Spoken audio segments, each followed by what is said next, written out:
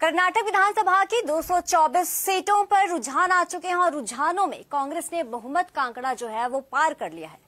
कांग्रेस को बहुमत मिल चुका है और भाजपा और जेडीएस के हाथ जो है वो हार लगी है। आपको बता दें कि कर्नाटक विधानसभा चुनाव में जो वोटिंग है वो 10 मई को हुई थी और 13 मई, यानी कि आज जो है वो काउंटिंग हुई काउंटिंग में ये साफ़ हो चुका है कि कर्नाटक में जो है वो कांग्रेस की सरकार बनने जा रही है। आपको बता दें कि कांग्रेस में काउंटिंग के बाद जो रुझान आए हैं, इलेक्शन कमीशन की ओर से जो रुझान सामने आए हैं, उसमें कांग्रेस को बढ़त मिली है। रुझानों में कांग्रेस को बढ़त मिली और इससे कांग्रेस में जश्न का माहौल जो है, वो पैदा हो चुका है। सुबह आठ बजे से 36 मतगणना केंद्रों पर जो है, वो काउंटिंग शुरू हुई थी और ऐसे में अब रुझान ये सामने आया है। अब तक के ये रुझान है कि कांग्रेस को बहुमत मिलता दिख रहा है। कांग्रेस बढ़त पर है और ऐसे में भाजपा और जेडीएस के हाथ जो है वो मायूसी लगी है। लेकिन कांग्रेस में कांग्रेस में रुझानों के बाद जश्न का माहौल शुरू हो चुका है। जी हाँ कांग्रेस कार्यालय में जो है नेता इकट्ठे हो चुके हैं। आपको तस्वीरों में दिखाएँगे कि आखिरकार किस तरीके से जो है कांग्रेस नेता अपनी खुशी ज़ाहिर कर रहे हैं। कर्नाटक में कांग्रेस नेताओं में खुशी की लहर दौड़ चुकी है।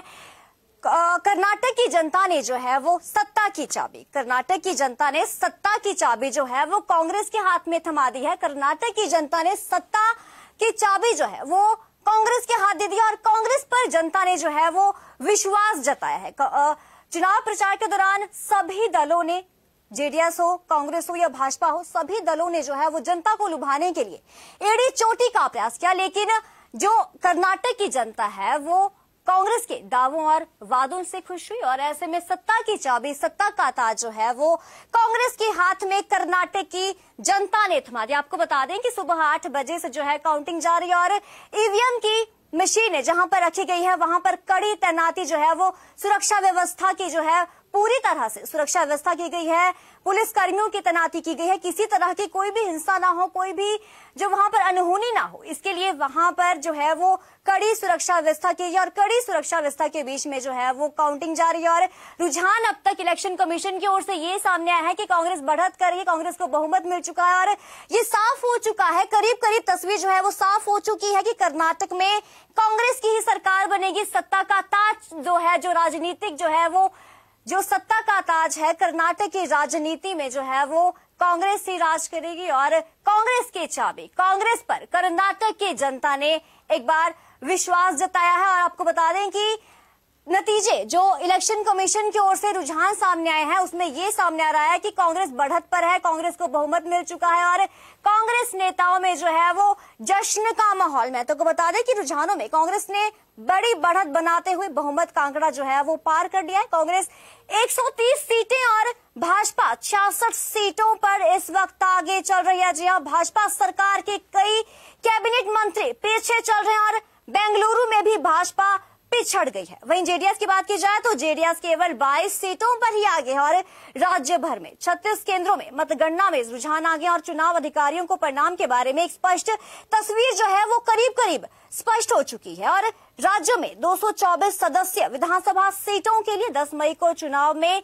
तिहत्तर दशमलव एक नौ प्रतिशत का रिकॉर्ड जो है वो मतदान दर्ज किया गया था। आज कर्नाटक के लिए क्या ऐतिहासिक दिन है। सुबह आठ बजे से वोटों की गिनती जो है वो शुरू हो चुकी थी और रुझान में करीब करीब जी हाँ ये स्पष्ट हो चुका है कि कर्नाटक में कांग्रेस की सरकार बन रही है और 10 मई को सुबह की 224 विधानसभा सीटों पर जो है वो तिहत्तर दशमलव एक नौ प्रतिशत जो है वो वोटिंग हुई थी। और आपको बता दें कि जो रुझान सामने आए हैं इसके बाद जो कांग्रेस कर, कर्नाटक कांग्रेस प्रमुख डीके शिव कुमार जो है वो कांग्रेस की जीत के बाद भावुक हो गए उन्होंने कहा कि मैं अपने कार्यकर्ताओं और अपनी पार्टी के नेताओं को श्रेय देता हूँ जिन्होंने इतनी मेहनत की है। लोगों ने झूठों का पर्दाफाश किया और मैंने राहुल गांधी सोनिया गांधी और प्रियंका गांधी को जीत का आश्वासन दिया था। मैं भूल नहीं सकता अब सोनिया गांधी मुझसे जेल में मिलने आई थी तब मैंने पद पर रहने की बजाय जेल में रहना चुना। पार्टी को मुझ पर इतना भरोसा है। जी आपको तस्वीरों में दिखा रहे हैं। आपको तस्वीरों में हम ये दिखा रहे हैं कि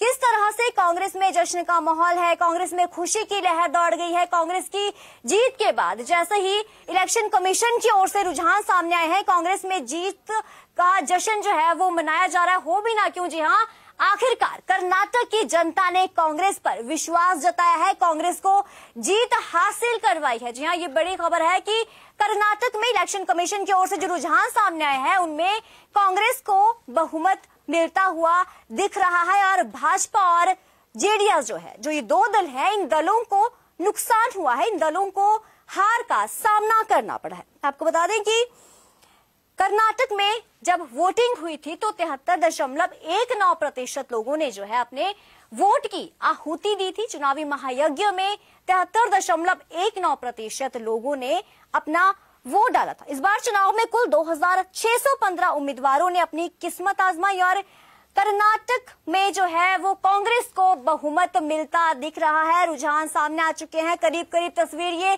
साफ़ हो चुकी है कि अब कर्नाटक में जो है वो कांग्रेस ही सत्ता संभालेगी, सत्ता की चाबी, सत्ता का ताज कांग्रेस के हाथ लगेगा। और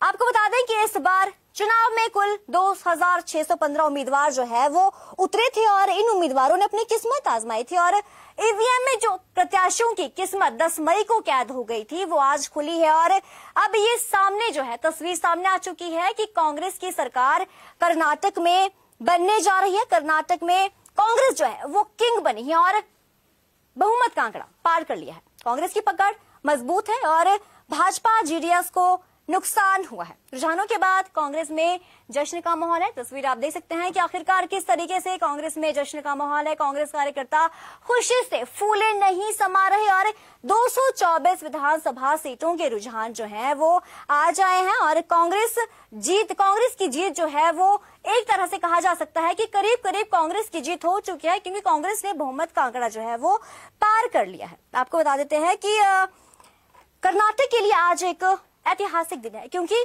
देखिए, कर्नाटक की जनता जो है, वो बेसब्री से इंतज़ार कर रही थी इस दिन का, ये जानने के लिए कि आखिरकार कर्नाटक में किस राजनीतिक दल का राज होगा और कर्नाटक में सत्ता की चाबी किसके हाथ जाएगी? और देखिए, आज ये करीब करीब साफ़ हो चुका है कि जो सत्ता की चाबी है, सत्ता का ताज है, वो कांग्रेस के हाथ में ही जाएगा। इससे हालाँकि भाजपा और जेडीएस में थोड़ा कह सकते हैं कि उनको नुकसान हुआ है, लेकिन कांग्रेस में खुशी की लहर है। कांग्रेस में खुशी एक तरह से कांग्रेस में खुशी की लहर आ चुकी है और कार्यकर्ता और समर्थक जो है वो जश्न मना रहे हैं। जी हाँ रुझानों में कांग्रेस ने बड़ी बढ़त बनाते हुए बहुमत का आंकड़ा पार कर लिया और 130 सीटें और भाजपा छियासठ सीटों पर आगे चल रही है। भाजपा सरकार के कई कैबिनेट मंत्री पीछे चल रहे थे और बेंगलुरु में भी भाजपा पिछड़ गई तो वहीं जेडीएस केवल 22 सीटों पर आगे है। राज्य भर में छत्तीस केंद्रों में मतगणना के रुझान आ गए और चुनावी अधिकारियों को परिणाम के बारे में एक स्पष्ट तस्वीर जो है वो सामने आ चुकी है। राज्य की 224